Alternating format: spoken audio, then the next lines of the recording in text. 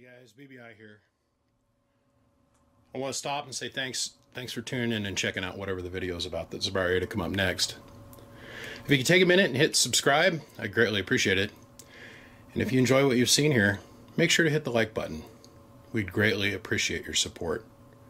Anyhow, guys, all that aside, let's get on with the show.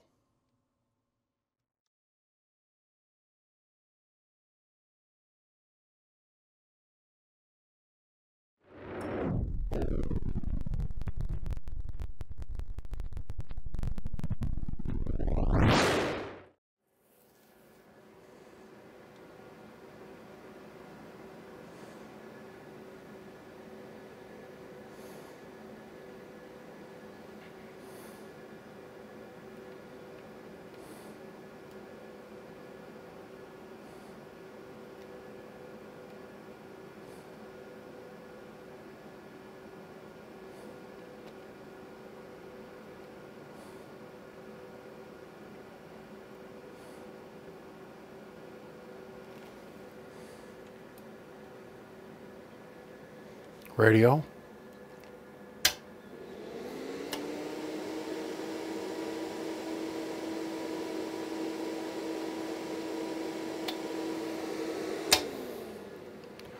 Sixty dB down.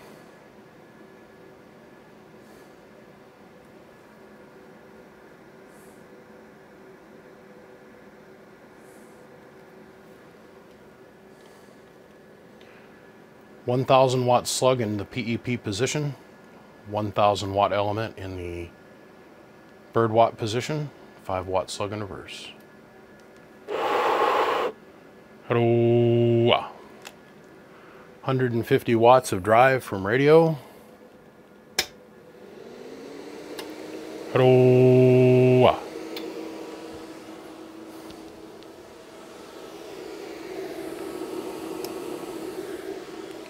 To X position. Hello. 1300 watts of power.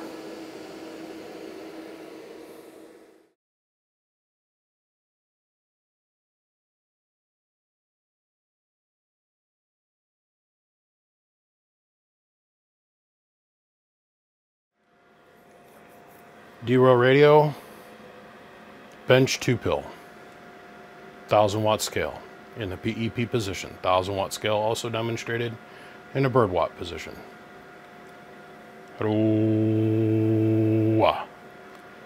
200 watts.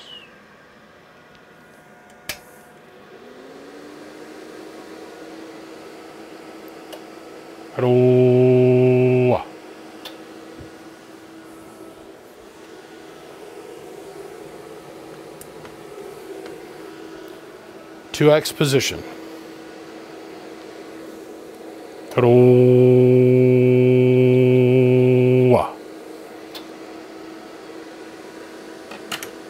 Sixteen hundred plus, and over a thousand bird.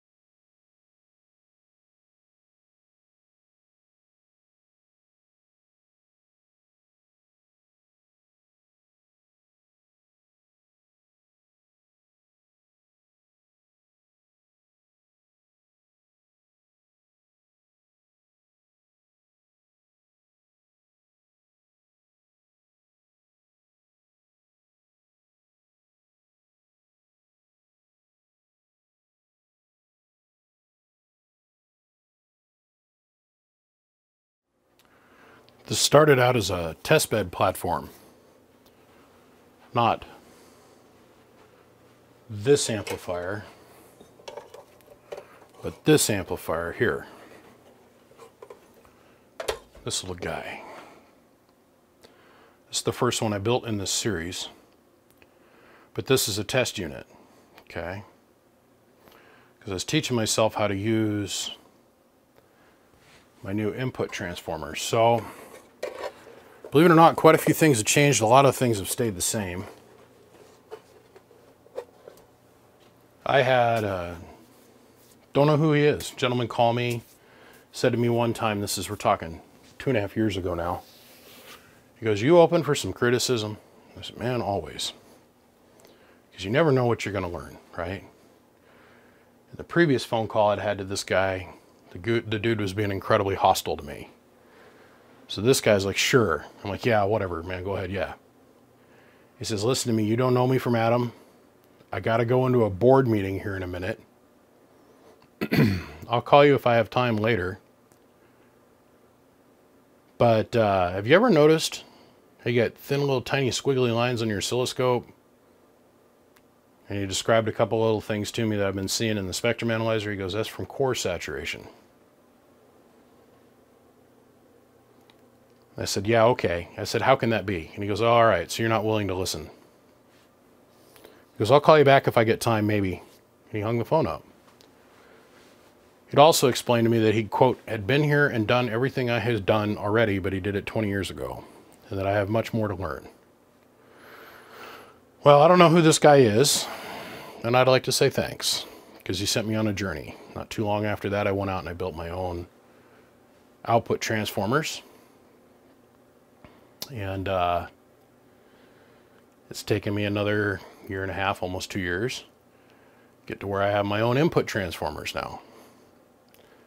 Because I was looking, I immediately put down the phone. I thought about it for about five minutes, and I came out here in the shop and I started looking at stuff. And I started seeing the characteristics of core saturation. And so I thought I'd try and chase that holy grail. Now, this particular unit here, I built this so I could play with a new style of combiner that um, me and a fellow builder have been working on now for a year or so. I tested it, it worked great.